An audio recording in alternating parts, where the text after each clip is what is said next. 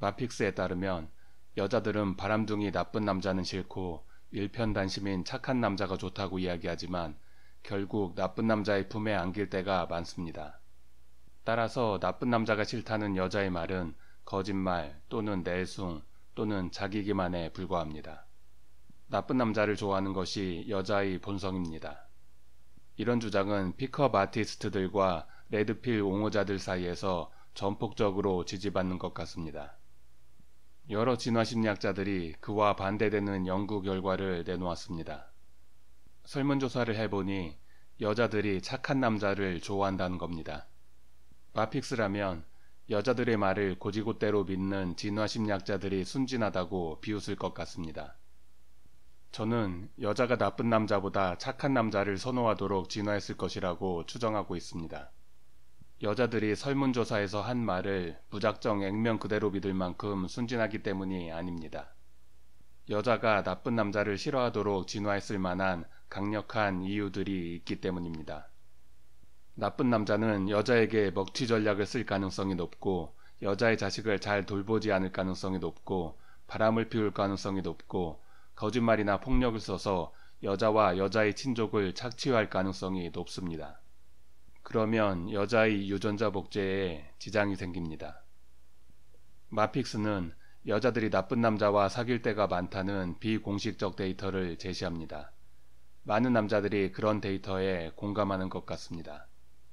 그래서 여자가 원래 나쁜 남자를 좋아한다는 속설을 지지하게 되는 것 같습니다.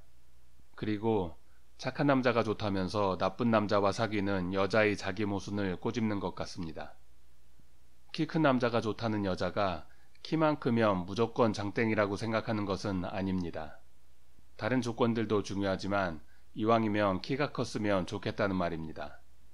마찬가지로 착한 남자가 좋다는 여자가 착하기만 하면 아무리 키가 작고 아무리 못생기고 아무리 무능력하고 하는 짓이 아무리 찐따 같다 하더라도 무조건 장땡이라고 생각하는 것이 아닙니다. 다른 조건들도 중요하지만 이왕이면 착했으면 좋겠다는 말입니다. 여자가 우월한 남자도 선호하고 착한 남자도 선호하도록 진화했다고 가정해 봅시다. 그런데 원시사회 기준으로 우월한 남자들은 대체로 나쁜 남자인 것 같습니다. 그럴 만한 이유가 있습니다. 남자가 우월할수록 바람둥이 전략을 더 효과적으로 쓸 수 있으며 남들을 더 효과적으로 착취할 수 있습니다. 그래서 남자의 우월성과 이기성 사이에 남자의 우월성과 부도덕성 사이에 상당히 높은 상관관계가 있는 것 같습니다.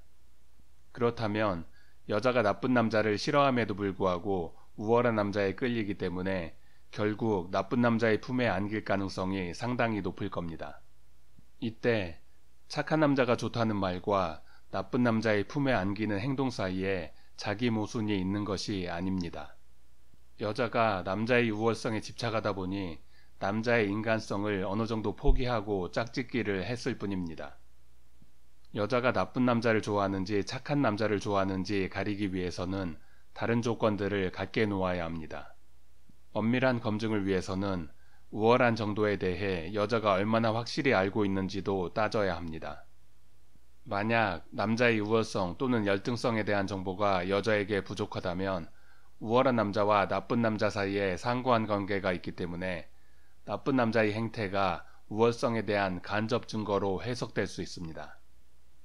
이런 실험 설계와 부합하는 비공식적 데이터를 픽업 아티스트가 제시한 것을 본 기억도 없고 진화심리학자가 공식적 데이터를 제시한 것을 본 기억도 없습니다. 하지만 앞에서 이야기했듯이 여자가 착한 남자를 선호하도록 진화했을 만한 강력한 이유들이 있습니다.